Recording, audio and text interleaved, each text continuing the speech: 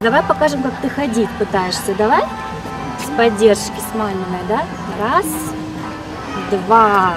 Каждый свой шаг четырехлетний Юра делает с радостью, даже несмотря на болевые ощущения. От своего выносливого сына жительница Белогорска Оксана Бородина не отходит ни на минуту. Он ее долгожданный первенец. Правда, появился на свет мальчик в компании с диагнозом двойная гемиплегия. Это самая тяжелая форма ДЦП. Это все от головы.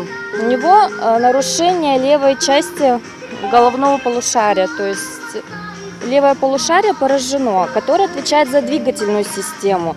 То есть интеллект у него сохранен, все понимает, а в двигательных двигательной системе у нас вот не есть все хорошо. Изначально прогнозы были неутешительными, но вопреки им маленький Юра не только выжил, научился сидеть, ползать и говорить. Хороших результатов удалось добиться благодаря постоянному лечению. Две операции в Калининграде, курс реабилитации с массажем, уколами и ЛФК в Харбинской клинике. Сейчас медики считают, у Юры есть физический потенциал. Китайские врачи говорят, что Юра будет ходить, что у него, у ребенка хорошая есть перспектива на то, что он будет полноценным ребенком.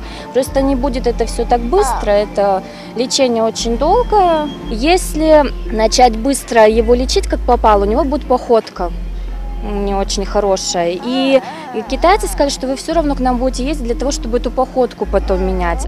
20 июня Юру вместе с мамой ждут в китайской клинике. Очередной курс лечения обойдется в 790 тысяч рублей. Около 500 тысяч уже собрали, но даже остаток суммы для Бородиных неподъемный. Отец Юры из семьи ушел. Теперь они живут только на бабушкину пенсию и пособие сына по инвалидности. 13 июня у мальчика день рождения. Лучшим подарком может стать ваша помощь. Реквизиты для перечисления средств на ваших экранах и на нашем сайте tvgород.рф.